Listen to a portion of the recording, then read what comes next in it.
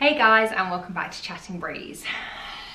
So, in today's news, no, today's vlog basically is something I've touched upon in a previous vlog, which is what happens when this, I say this, i.e. creating your own company, starting your own brand, starting your own fashion label, whatever it is, isn't the only thing that you are doing. This is your passion project. This is your side piece. This is your side hustle. This is whatever you want to call it. However, this is not what is paying your bills right now. This is something which is hopefully going to pay your bills later.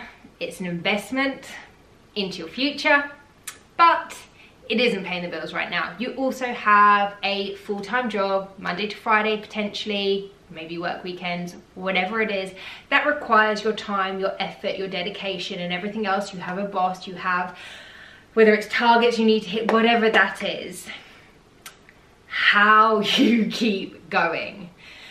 Oh, guys, I do wish that there was an easy answer for this, but all I can say is sometimes it is a struggle. So look, when you first get started and you're first on your mission and you're first, you know, creating whatever it is that you, you want to get set up, you have all the enthusiasm, all the passion, all the drive, all the ambition, everything that keeps you going and pushes you through and makes you work those evenings after you've logged off from your like nine to five job makes you want to you know knuckle down at the weekends uh, when other people are doing things or you you know you might have gone out and then everyone else is chilling or you decide to leave early because you've got to carry on you know and you've got to get something done. That's all fine and dandy because it's like okay I know I'm making these sacrifices for a reason I'm gonna find get the benefit but when you've been slogging and I'm talking about you know it's a year down the line and you're still slogging and you have your nine to five job and you have pressure in that job as well. Like no job comes without pressure and hard work. So you might be in a position that you know you you have pressures and you're sitting there you're thinking oh my god my brain is going to explode already. And you know it's not like you might be able to tell your boss unless you've got a very considerate boss or you have a great relationship with them and they'd be supportive of it. Most people don't have that situation or don't even want to risk putting it out there to their boss that they're doing something on the side just in case there is a repercussion for it. So I think we keep it to ourselves. Um, and that means that then when it comes to doing your own thing and your own project, like you get so run down. Like it is so easy to want to almost like give up because this is paying your bills. You can't give up on this yet because this isn't paying you anything.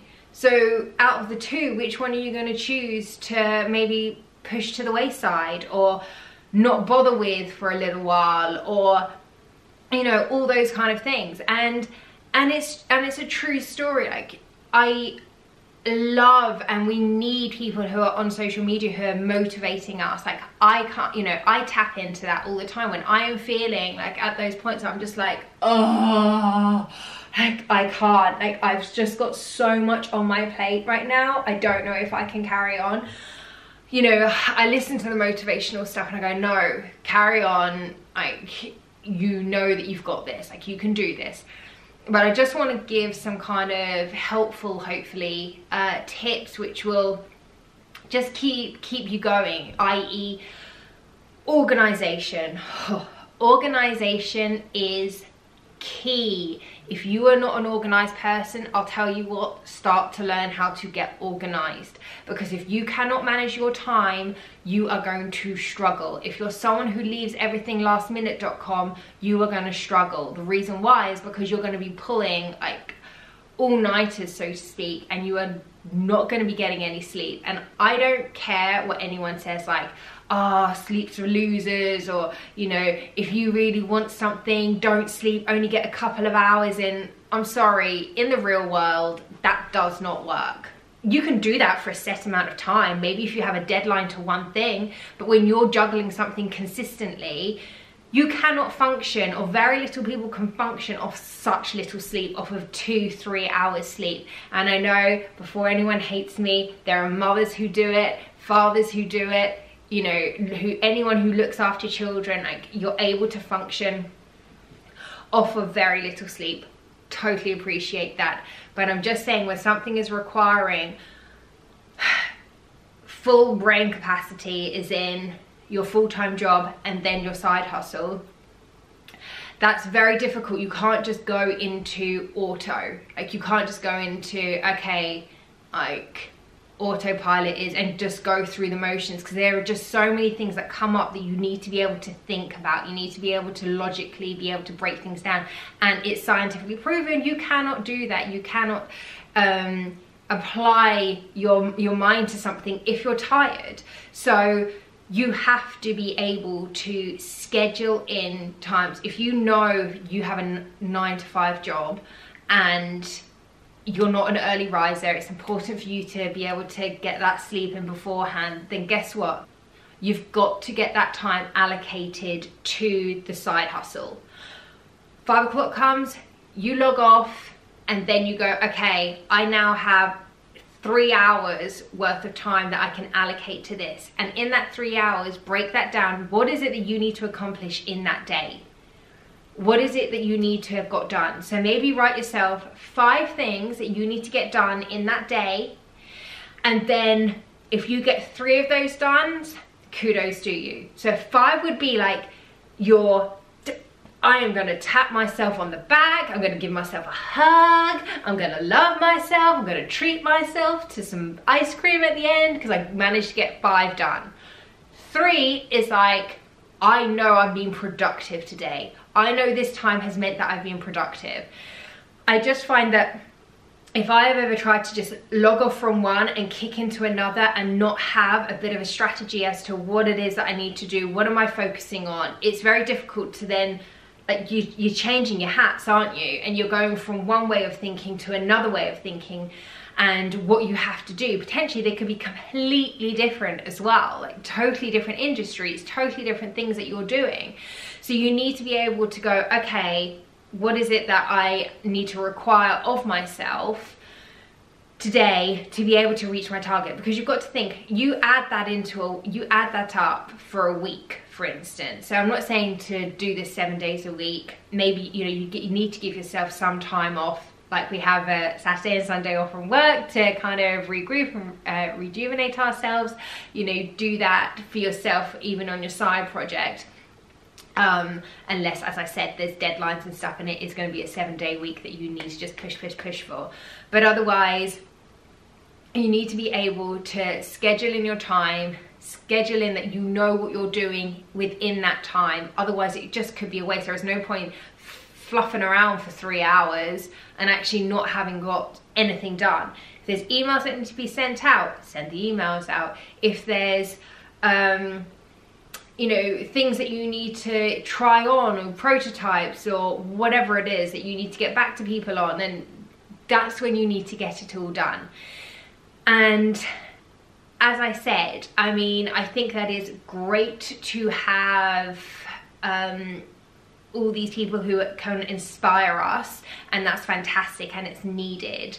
But you also, I feel like sometimes it's rose tinted glasses for some people or it's a distant memory for others that they think, oh, that was like eight years ago I had a full-time job whilst I was doing this, you know, and they kind of skirt over it but they don't really go into sometimes like the struggles of it and sometimes you can feel because it can be quite an isolating thing to do or to start something create something on your own because of that you can sometimes feel like you're on your own. You can sometimes feel like oh, am I the only one who's struggling here? Am I the only one who's struggling managing my full-time job and still carrying this on and getting the gumption and getting the ability to and the energy to keep pushing forward on this? And like i said at those beginning stages we're all full of the joys of spring and have a spring in our step. But it can come to the point you know as i rightly well as i said a year down the line two years down the line that you start to think oh this is a slog like this is this is work and it's sacrifice so i just want you guys to know that if you are feeling that, you are not alone. Sometimes I have to give myself a break. Now, remember that as well. Do something that you enjoy, give yourself the five minutes. Maybe you don't want to log off from one job onto another. Maybe you need to give yourself half an hour, an hour to be able to just decompress from from one situation to be able to go into the next with a clear mind and that is absolutely fine whatever works for you. Everyone is individual and everyone works differently and everyone works best at different hours, all that kind of good stuff. So you know yourself the best and you know how you're going to get the best out of yourself. So just though bear that in mind and bear in mind that you aren't alone when you are feeling that struggle and you're feeling that kind of I don't know how I can do this. I'm I'm struggling to juggle everything. We all go there, but you can and you can push through it and you can keep on going. The other day, I properly had a bit of a breakdown. I'm not gonna lie. Like, I properly just was like, ah, I have so much to do and my list is so long and work was so incredibly crazy that I just my brain almost had had enough. It was just like, I'm done. I, I can't. I have nothing left to give you.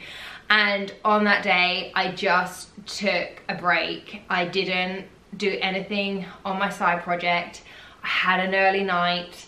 I got make sure I got my sleep in and stuff and the next day I felt so much better. For someone else it might be a case of going for a run and clearing your head or something else, what, whatever works for you. But just know that the hustle and the struggle is real. It's a real grind. Like it's great to hear the success stories and yes we heard about someone working hard and da da da da da da but I always find it's different when you're speaking to somebody who is actually going through it at the same time as you.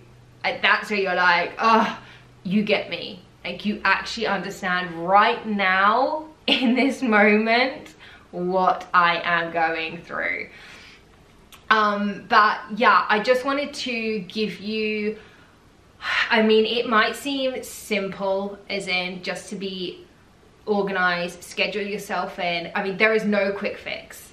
There, I can't wave my magic wand. I wish I could to be able to give you the magic fix as to how to do everything. But all I can say is genuinely, if you're not someone who schedules yourself in for things and you don't um, pre-plan your, you know, your days and your weeks and stuff like that, give that a go because it really really really is helpful. And just listen to yourself as well. If you do need a break have a bit of a break. There's nothing wrong with that. The world is not going to collapse or your business is not going to collapse because you've had a bit of a break. Um, but then get back on that saddle when you've when you found your mojo again. Listen to some music listen to an inspirational speaker whatever it is that you need to do.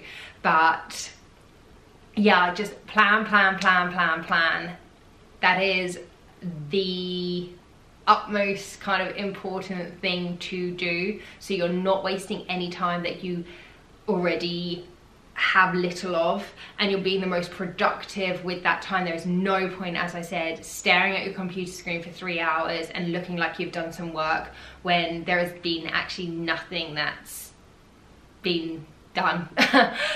Um, within that time you might as well sacked it off and just had that day off because it would have been better to come back the next day more fresh and and ready to work and have your head in the game.